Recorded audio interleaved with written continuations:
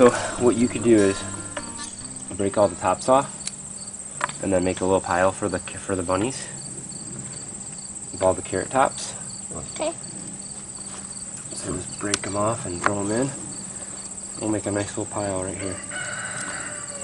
The rabbits love the greens. We'll, they'll have lots, won't they? yeah. But Dad, look at this one. It's gross. It has like a big bump. Yeah, we'll cut that part off. It's okay. Oh yeah, and there's oh, it's eaten, Dad. Like right there and up there. And... Yeah, we'll see if it's still good or not. We'll we'll uh, Get it. cut off the bad parts and the rest, right? Yeah. Ah, almost got that one out without breaking.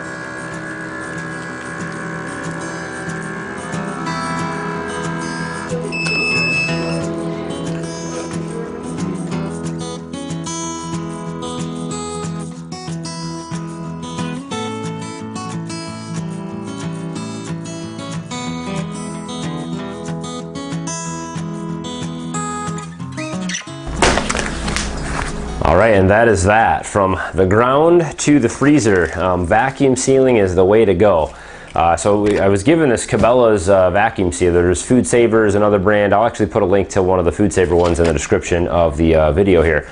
But uh, man, is that thing handy. We use it for uh, our deer meat. We use it for, uh, we'll be using it for chickens when we process them. and it's a really great way to, to you know, store your vegetables from your garden. The KitchenAid mixer, the KitchenAid food processor there has a slicing feature on it. It worked really good as far as like, you know, running a bunch through quickly, but it did kind of, you know, make a bunch of smaller pieces and stuff like that. I probably would have preferred to, um, if I had more time to slice them up with a knife, it makes bigger chunks a little bit nicer, but uh, these should last about three to five months in the freezer before you know they're going to start to, I guess, not be as good, uh, and that's perfect for us. So if we can get through, you know, to the end of the year with uh, with what we have here, that would be great. Um, and hopefully we'll have time left in the season to plant another crop of carrots. We'll uh, we'll plant a fall crop here and uh, see if we can get some more uh, to harvest before the frost comes. So, questions or comments? Let me know what you guys think. We're trying to get every bit of our harvest process this year, and this vacuum sealer is going to be a big part of that, especially for peas and beans, which will be coming up next. Uh, I'm going to do the very similar process. No blanching. Uh, don't like to blanch this stuff if possible. Every time you heat things up, you're killing a lot of the natural nutrients and microorganisms and things like that that are in your in your fruit, your fruit or vegetables, um, your food. So.